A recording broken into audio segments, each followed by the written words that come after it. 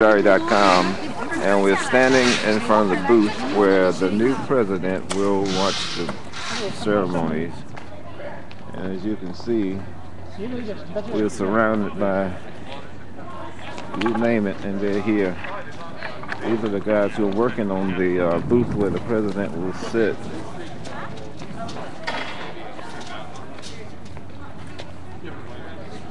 And as you can see, this thing is like ain't no bombs coming up in there, buddy.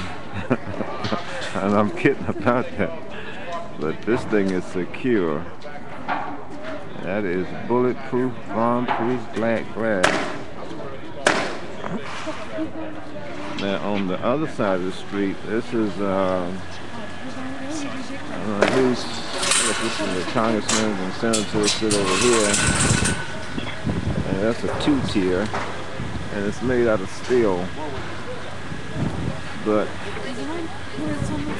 this is what it looks like. And the parade is going to come from that direction, straight ahead. So, I don't know where it ends, where it ends up from there.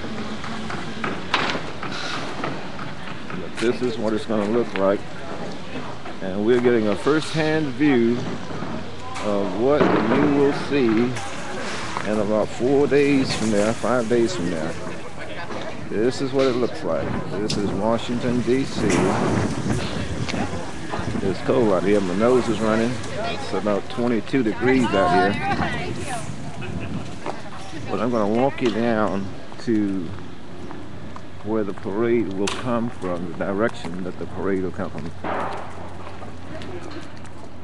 In fact, you can look through here and see the White House. I'm gonna pull you in close as I can get you. There's the White House. And there's the booth where the president will sit to watch the parade and ceremonies after he's sworn in.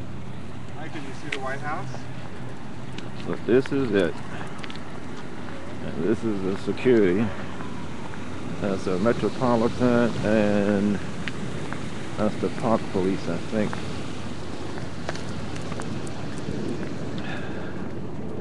And this is part of the um,